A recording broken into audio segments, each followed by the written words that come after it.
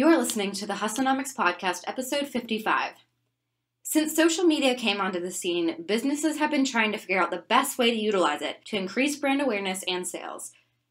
The roller coaster of trying to keep up with the constant changes and updates since then has not only been exhausting, but it's also left a lot of business owners feeling frustrated and inclined to give up altogether.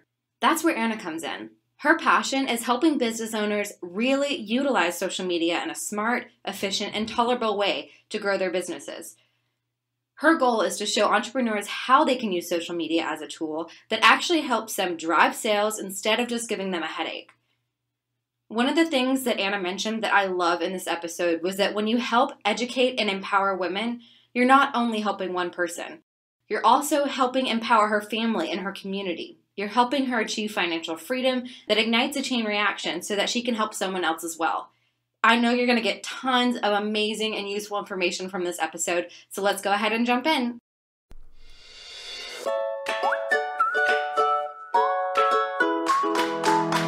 You're listening to the Hustlenomics Podcast, a podcast all about inspiring female creative entrepreneurs, their stories, experiences, and life lessons. Hear from women working in creative industries who are breaking the rules and doing things their way. Learn from their challenges, struggles, failures, and successes, and get an inside look at their top tools and resources that help them along the way. Hi, everybody, and thank you for tuning into the Hustlenomics podcast. I'm your host, Katie, and today I am super excited to be talking with Anna Kochetkova. She is a social media strategist and a good social ambassador. She helps women and established service businesses grow and scale their business using Facebook ads and social media. So, Anna, thank you so much for coming on the show today. Oh, thank you. It's my pleasure. All right. So I'd love if you would elaborate a little bit and tell the listeners a little bit more about you and what you do. Absolutely. I'm more than happy to do that. I think I think social media and just even digital marketing in general, it's just such a hot topic and everyone loves talking about it. But there's also so much misunderstanding and confusion. And I've entered this world almost a decade ago now and went through so many changes, but I just always loved it. And I always loved working with businesses and trying to help them understand how to use social media better and just how to utilize it as, as a tool. And for that reason, for that reason, I've been doing it for such a long time. And it, even though it's been changing over this last decade and the last um, almost five years of my business, it's just always new. It's always interesting, but there's also so many challenges and I just feel very privileged that I have this opportunity to help people. That's awesome. So you got into this business kind of right when businesses were starting to use social media as part of their marketing strategy, right? Yes, I actually fell into social media from a different industry almost. It was still digital marketing altogether, but initially because I have a two master degrees in journalism, I came from writing background and I initially fell into social media out of SEO and copywriting and digital strategy. And then because digital marketing is such a big area, I figured that I, I it, there's just so many moving parts. We better isolate something that I'm really good at, and then social media came along for me. That's so funny. I actually have my master's degree in journalism as well and have been working in social media as well. So it's so funny the similarities. I love that. It's it's um it's lo- looking like it's uh, fairly common in, in, a way. There's a lot of business degrees, marketing degrees, and journalism. I think it's great because it helps you to do the research better. It's just the right degree, I think. Yeah, I agree. So you got your degree in journalism. Is that what you originally were were hoping to work in, or was that something that you knew would help down the line with kind of your digital marketing? I was 16 or 17 when I first made a decision to go into journalism. So I really didn't plan that far ahead at all. And my journalism, my first journalism degree was back in Russia where I was born and grew up. And back then we don't really take gap years and we don't really jump, jump away and travel and think about it. So I really had to make a decision and I made a decision to go into journalism because that was something that I was good at. Languages, history and writing was something I was good at. I really enjoyed it.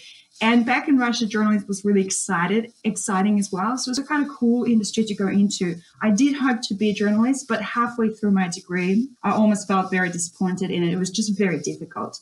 But then moving overseas to moving to Australia and completing my second degree here really inspired me again. It was a very different environment. So I felt like, oh my God, this is actually really cool after doing that. And as I was studying, I got a job in marketing and that's it. I was just, I was sold. Wow, very cool story. Well, it's always interesting to hear people's backgrounds because it's just you never know. It's I've heard some crazy stuff that people are working in one industry and then jump over to another one. So I always find that interesting. So, how long have you owned your own business? It's coming to my fifth year now, and uh, it's been it's been really cool. I know it feels like it's only been yesterday because over this five years I've pivoted about two times now and I've initially worked a lot with startups and a lot with retail as well. And now I came to working with service businesses. And after having this experience of working with retail and working with startups, I realized those guys really need different strategy and the support they need is just very different from established service businesses. And it, it is a, it, it is a lot more difficult and challenging for them to work with Facebook and social media specifically because they are still getting the funding and they're still growing. And most importantly, they're stabilizing. It's just the time for them to get first sales and get stable and then starting to grow. Whereas I focus a lot on the growth and, and this pivot really helped me to help more people and have a better impact. And then I still get to talk to retail and startups a lot and and most of the time, I really say that, look, don't worry about it. Let's first stabilize your business and see what else you can do in digital marketing before you jump into social. So I'd love to kind of go back to when you first started. So, had you always had the idea of maybe being an entrepreneur in your mind, or is this something that kind of surprised you that you wanted to do that? That's actually a really good question. I haven't thought about it for a while. Given that I grew up in Russia, the words businesswoman or entrepreneurs was really a very dirty word. My dad was a businessman and he was a lot in he was in sales and it was just don't become a businessman in Russia, especially during the 90s and especially in Soviet times. Of course, there were no business; it was absolutely illegal. So I didn't have that. I didn't feel like I would be um, in business or I'd be not at all. There was there was something very opposite. You'd be scared to admit that that's what you're doing. So after coming to Australia and working with a few agencies and then working in house as well in digital marketing and strategies, SEM, um, SEO, and copywriting mostly, I just figure out that a lot of things people were doing were just really not on point. A lot of things people were doing are not. I even happened to work with an agency that was just straight ripping people off. And myself and there were a team of three of us, and we literally walked out of the door. And it was very traumatizing and I was very disappointed. I felt like this is this is crazy. I can't be doing this. I need to find people I can work with. And I couldn't. I literally ended up starting my own agency because I was so frustrated with what people were doing. And of course, I felt very alone as well because I thought, why would I be offering something different? How do I know it's different? But after testing and trying so many different things, I knew I was doing something right. And I knew I could no longer work with any agencies or any other businesses that were not utilizing it correctly and either cheating or just making a lot of really painful mistakes. So falling into entrepreneurship for me wasn't really an accident, but I didn't, no, I didn't plan that at all. No. That's interesting. Yeah. So I'm looking at your website now. It's uh, Good Social Only, correct? That's your agency? Yeah, that's right. So you work a lot with Facebook ads and social media ads. And I think we hear, you know, people talk about those all the time, but I'm not sure everybody really understands what they are, how they're different from other types of advertising. So do you mind just telling the listeners a little bit about what Facebook ads are and what social media ads are and how they're different from other types of advertising? Yeah, that's actually a very good call. And you're very right. People do confuse it sometimes with other paid form of advertising. And most importantly, I think people look at advertising and they think that just a click of a button would help them to get their leads. And Facebook advertising is is literally just a machine. It's a tool that sits within Facebook.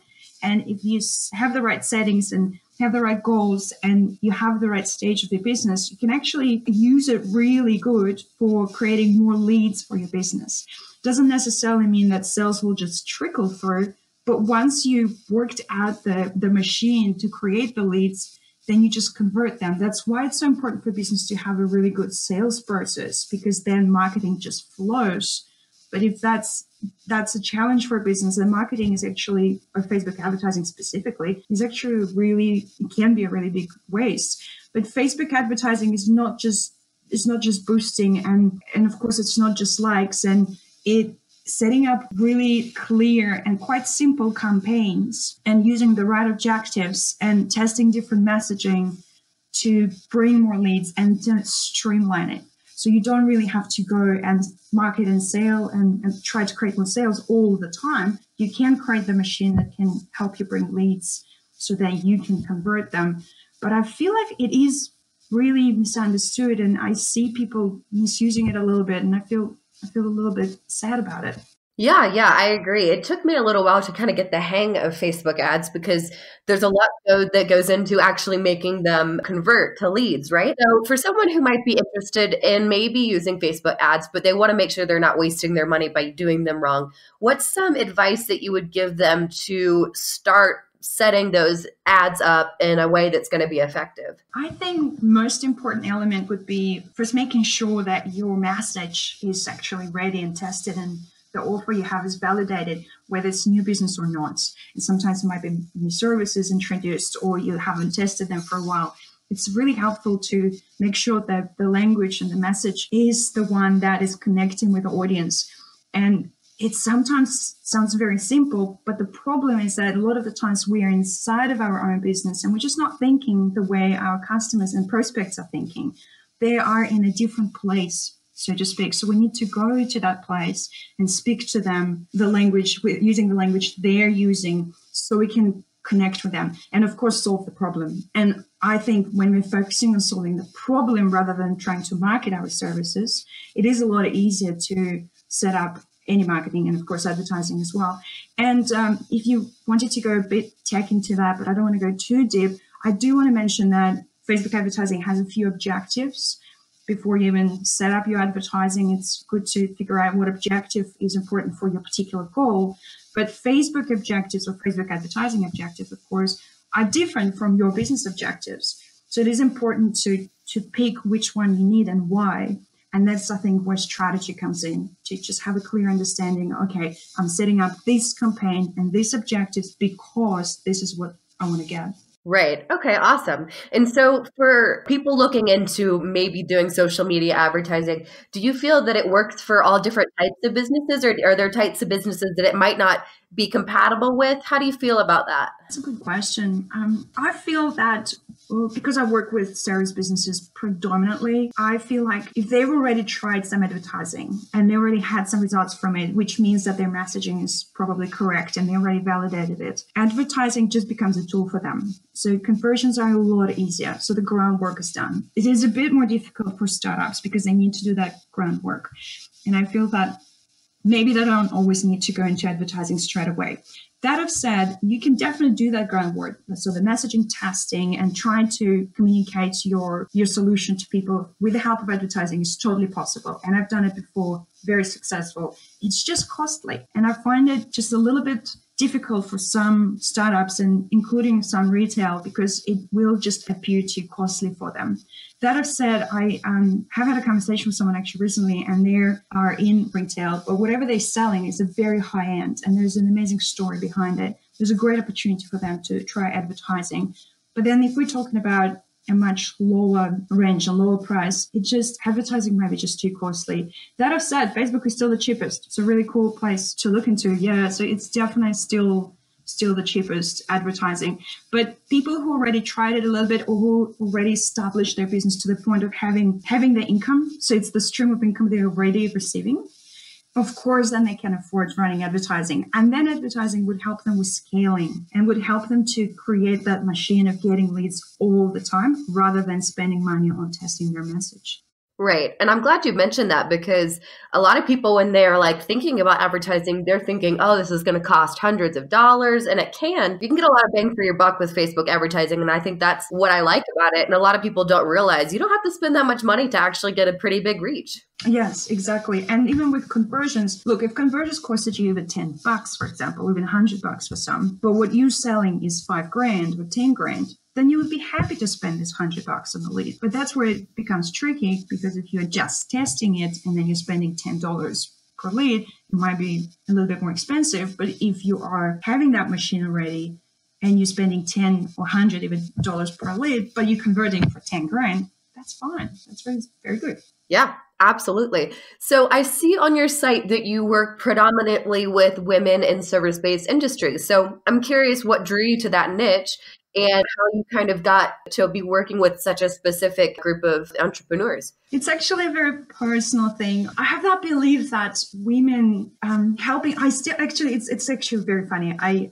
I say that, and I really want to work with more women because I feel like helping a woman would help a whole family, would help their children, would help just would help to create even a bigger and better world. But I work with a lot of men, and probably half of my clients are men, and they are they're very feminine though, so this is wonderful.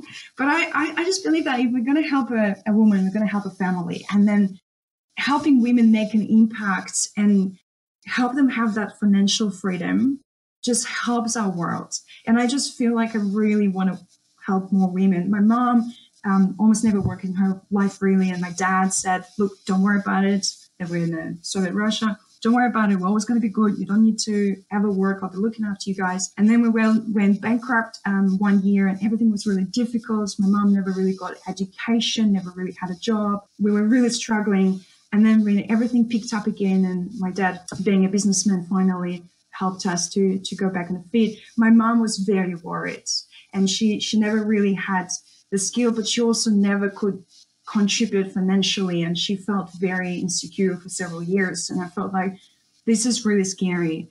And some women out there might be might be struggling but they have some amazing talent or might be having some amazing business some amazing skills and they they're using them to to create financial independence for themselves then they can help someone else as well. And it's just a chain reaction. And i think this is so beautiful yeah, I agree. That's one of the main reasons why I started this podcast and I only interview women. It's fascinating thing and I, I, love that about your business. I think that's really cool. So you mentioned working with and helping businesses with their growth. And do you work a lot with Instagram or primarily Facebook? Actually, choosing social media channels is a part of my strategy. So I would definitely work with whatever channel we think we should be utilizing. So yes, def- definitely. Okay. okay. Well, with both Instagram and Facebook and Twitter, Pinterest, really anything out there. I think yeah getting those numbers and having something to show when it comes to analytics is something that everybody's focused on and you know wants to learn how we can grow our accounts and all that stuff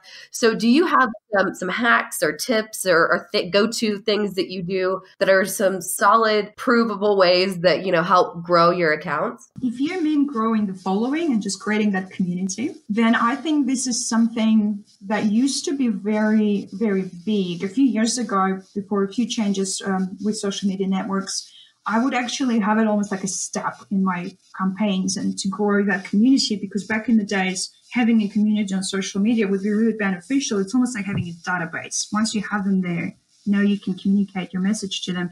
And if they're the right target, and of course we want them to be the right audience, then they would love what you're sharing with them. It's still true. And I most of the pages I work with, Facebook pages, are actually quite large and they're very engaged. And when I when I take up a new client, I do social media audits. So I need to go through and see what's been done before and I see how engaged the pages are because then I know if we can actually even sell organically, which still works and algorithms do not affect those people. They totally they're totally fine and they still collect all the fruits from that. But if it's a fairly new page, this following doesn't really matter that much because advertising will bring following as a byproduct.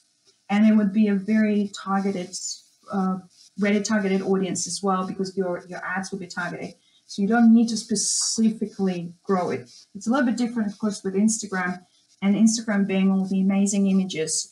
I think the being authentic and being yourself is the most important thing on Instagram. But it is very challenging there because of the bots and because of uh, many restrictions that Instagram now has as well, what Facebook created for them. So I find it really challenging. But there's particular services, and I work with um, aviation, for example, and I was uh, very surprised the first time I started working about a year ago that people in aviation love Instagram, crazy about it. And we're talking about um, guys in their 50s and 60s, usually married, who have travel, and they love sharing their stories on Instagram. So Instagram grows organically like crazy for us, and it's been really easy. But then we're talking about, say, fitness, and it might be too saturated to even look into Instagram. And besides all that, I think having particular goal, why would you want to grow that community, is really important. and then choosing the steps of getting there. And I think just besides the, the point of having bigger community, it's it's really beneficial to look into why you need to to create it and then choose the tools of getting there and just understanding that this community will bring you this or that and knowing it would just really make it easier for people because I've noticed how often people want to have bigger communities on social media, but when I ask them what do they think that will bring for them, they're saying, "Oh, I'm sure I'm going to be my sales are going to be trickling straight away." But that's not always the case. So maybe sometimes we need to strip it back and really nail one place and then expand as the business grows. Yeah, I like that. And I'm so glad you mentioned engagement because sometimes we get all wrapped up in the numbers, right? But really what's the what's really important is how engaged your community is, not how many there is in the community. So, what are some ways that you found that fosters engagement and, and encourages people to really interact with each other on these accounts? The people I work with have noticed that the solution that they're selling to start with is really valuable to their customers. And then when we run advertising, the likes just come in. And so the communities just as a byproduct, they, they just start growing. And then organic contact uh, content resonates with them. But that's something I always test in, in my work. Every now and then we would put something new in and we'll test it.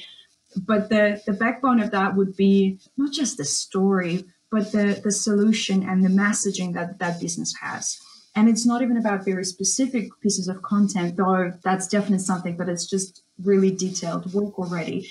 But this solution and the messaging, so using the words that prospects want to hear or the words that they're using and offering them a solution that touches their hearts generates crazy engagement and it's working really good for us. And I'm currently working with someone on their rebranding in the, in the fitness industry, and we're testing exactly that, going away from the traditional bikini shots and jumping more into supporting women's health of any sizes and genders and different health states for people as well. And that's been really great. And people were surprised to see that as well. So I was actually really thrilled to see that feedback. It was a bit surprising for me as well. But it's that messaging that really helps to connect with people and they engage with it because you are speaking to them to exactly their problem. Yeah, I like that. I like that a lot. That's a great tip. So I'd love to kind of uh, jump over to the topic of, of, you being a business owner. And you mentioned you've pivoted a couple times. And so um, I'm curious, what has been one of the biggest struggles that you've come up against as a business owner? And how did you kind of push through that and overcome it? I think the biggest struggle I've had so far is it's also been fun too. is having those actual conversations about social media being a tool.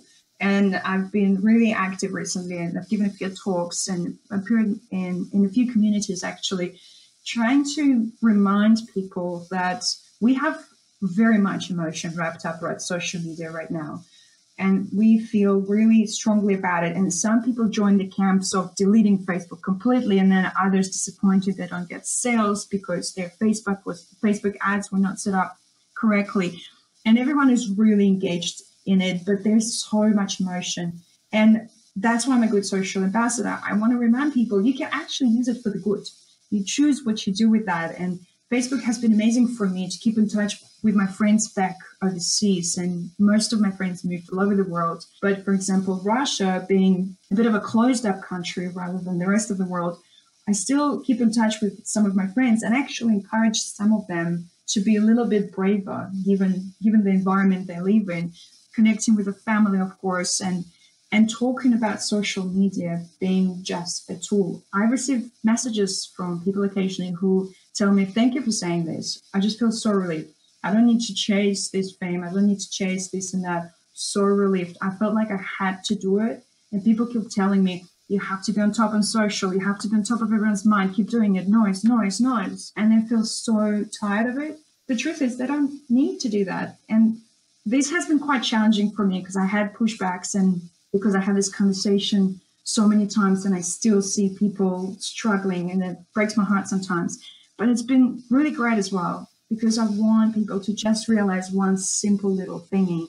It's just a tool and you choose how you're going to use it. Yes, I love that. I love that. It is so hard to remember, but that is something that we should all remind ourselves every day. You're right. We do get wrapped up in it, and it can be very difficult to kind of unplug and take the emotion out of it. So I love that social media is just a tool. we need to say that every day. So, do you have any books or podcasts or courses or anything out there that has been helpful for you, you know, as a business owner and starting your own business? Anything out there that's been helpful that you would recommend to the listeners? I think the biggest support for me has been the community of women in business that I'm a part of. It's actually no specific place. I've connected them in different uh, in different communities and different channels.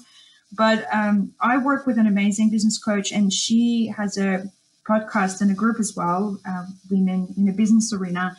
And she talks a lot about things like that. So, how we get wrapped up into marketing too much before actually getting first sales. And remembering that you need sales before marketing is something seems to be very novice to many people, which quite surprised me actually. And her some of her messaging helped me to reinforce what I've been doing as well and reminded me of a few things as well, such as what is the value of marketing and how you should be clear about why you invest in marketing specifically and not think that this is a solution to everything in your life. But she also talks a lot about ethical use of marketing and ethical business and things like that. So really, really love her podcast and go to her group quite often actually. I don't, it's called uh, Women in the Business Arena. And uh, she, the, the business coach is Sonia Statman that I work with, and she is based here in Australia, but she's just about to travel over to America, where she's from. So she's going to be doing a bit of traveling around while working around America and then Europe, and hopefully come back and being a bit of a digital nomad with her family which has been really fascinating because some women I've been talking to are working so much and they feel like they need to work more to produce more, but they really want to go traveling or spend more time with their families or pursue their hobbies and they're really burning out. So I'm quite happy that Sonia talks about stop doing all that and finding the way to be able to do what you love, still make an impact still work ethically, but also travel the world if you if you wanted to. And I think she's going to be an example like that. We'll see how she goes with her travel. So that's been really, really good for me. For example, I don't unfortunately know too many women in that space that that I follow. Um, I do love some messaging of Seth Godin for sure because he talks a lot about ethics, and uh, that has been a really good reminder for me as well. Great. Well, I will link to all that in the in the show notes so all the listeners can find that and check it out for themselves. I think that sounds awesome being able to travel and still run your business. That's definitely the dream. yes. Yeah, then that's great. so, do you also mind letting the listeners know where they can find you because I know everyone's going to want to take a look at everything you're doing and learn more about you. Sure, sure, absolutely. I am very happy to connect with people on Facebook and I really welcome personal messages as well. So you can easily just find me as Anna Kochetkova or head over to the Facebook page, which is Good Social Only on Facebook. I love personal connections more than anything. So personal Facebook is shoot me a message if you've got a question or you want to chat about anything to do with marketing. If you want to check out the page, I'm more than happy for you to do that as well. But I actually do love when people just come to you and they say, Hey, I heard this now. What do you think? Or can you help with this? It just feels so much closer and so much more personal and just so much easier than worrying about pages or other extra marketing. So fire away with that. Awesome. Well, thank you so much for sharing that and for sharing all these awesome insights about social media. And thank you so much for coming on the show. Oh, pleasure. Thank you so much for having me here. Hey guys, I hope you enjoyed today's interview. Don't forget that you can check out previous episodes as well as all the show notes at www.hustlenomicspodcast.com. If you want to support the show, you can head over to iTunes and leave a rating or a review. Each review means so much to me and it really helps the podcast on the business end. If you want to find another way to support the show, we're also on Patreon. You can find a link to our Patreon on our website. If you have any questions or you have a topic you would like to hear covered on the show, feel free to DM me on Instagram or send me an email. Thanks again for listening, and I'll see you next week. Thank you for listening to the Hustlenomics Podcast. Be sure to visit www.hustlenomicspodcast.com to join the conversation, access the show notes, and discover bonus content. If you enjoyed today's episode and want to hear more, just head over to iTunes to subscribe, rate, and leave a review. For questions about the podcast or if you want to apply to be a guest, use the contact form found on our website. Thank you for listening, and until next time, keep hustling.